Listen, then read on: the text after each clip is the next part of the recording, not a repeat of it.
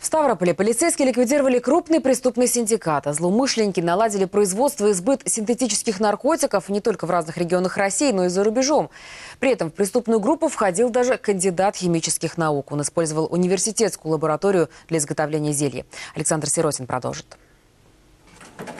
На рабочем месте лаборанток Ставропольского университета оперативники госнаркоконтроля проводят обыск. 30-летний кандидат химических наук занимался изготовлением наркотиков, прикрываясь научной деятельностью. Ну вот, вот беру вот это вещество, Это является одной из составляющих, да? да, одной грубо? составляющей. А потом, когда его утилирую, он в жидкой форме, Так.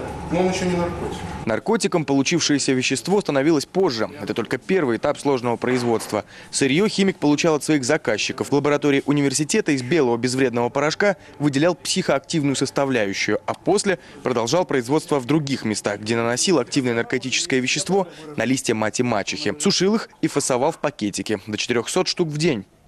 В качестве лаборатории торговцы использовали съемное жилье. В основном это были частные дома. Так проще не привлекать внимание соседей.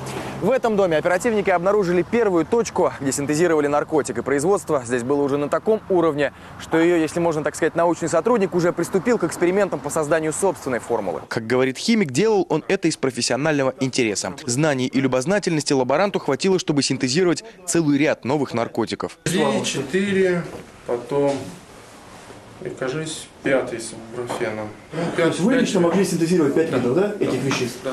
Новых это абсолютно. Или- Абсолютно новых, которые не относятся к списку. Дело в том, что в России есть официальный список запрещенных формул, которые являются наркотиком. И чтобы формально вывести свои действия из незаконного поля, химик придумывал новые соединения, незначительно меняя прежние.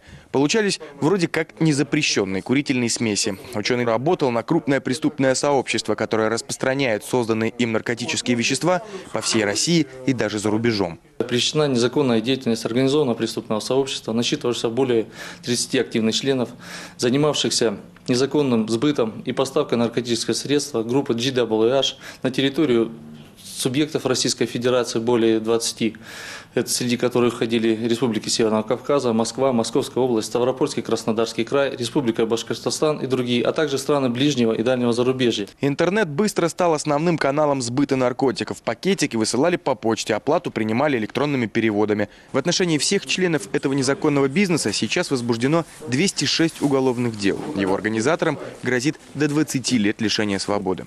Александр Сиротин, Ольга Кири, Олег Ващенко и Виктор Ангелов. Первый канал Ставрополь.